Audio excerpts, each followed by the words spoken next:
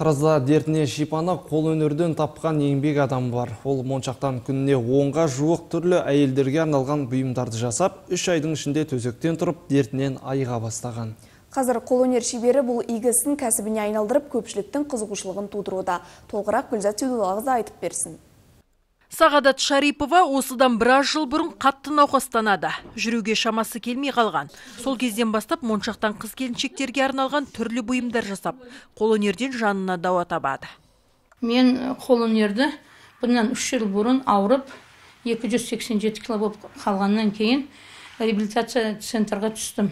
Сол реабилитационный центрда мен ұстазым Жанар ханым сол тоқуды тікуді өргетті бізге сол жерде мен қырық сегіз кило салмақ тастадым алты ай ішінде и сол жерден қолөнерші болып шықтым Қазір қолөнер шебері жіптен тоқу тоқып қана қоймайды. Моншақтан да түрлі әшекейлерді тоқуды әдетке айналдырған.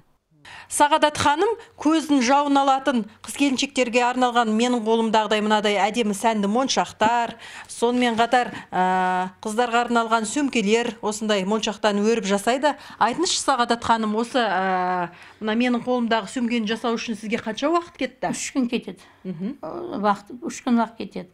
Моншақтар тез жасалады. Сумкаға үш күн уақыт кетеді. Қатты қиын емес пе?